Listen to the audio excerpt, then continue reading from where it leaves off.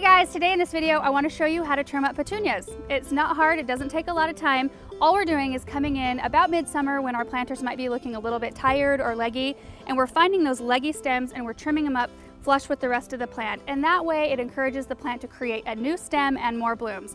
So this one right here, this is a perfect example. We've got a stem here with just one bloom on the end.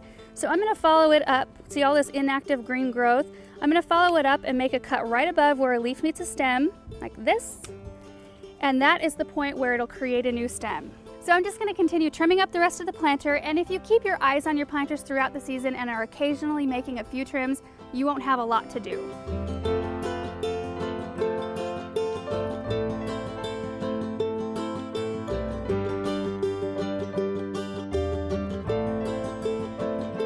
Keeping my eye on this planter throughout the season and have trimmed just a little bit here and there as it's needed it. So today I only had to trim a handful of stems off. Don't be afraid if you need to trim a whole lot more than this to get your planter back up to snuff. Um, you really want to, when you're doing this, rejuvenate the plant. And the more cuts you make, the more new stems it's gonna form. But I didn't wanna cut off any of this growth. This is looking great. There's lots of buds and lots of flowers right up top here. So what I'm gonna do now is fertilize it with a good water soluble fertilizer. I have been doing that once a week throughout the season so far. This is what I've been using and the plants have really been responding to it well.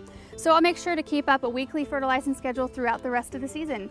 Thank you guys so much for watching and we will see you in the next video. Bye.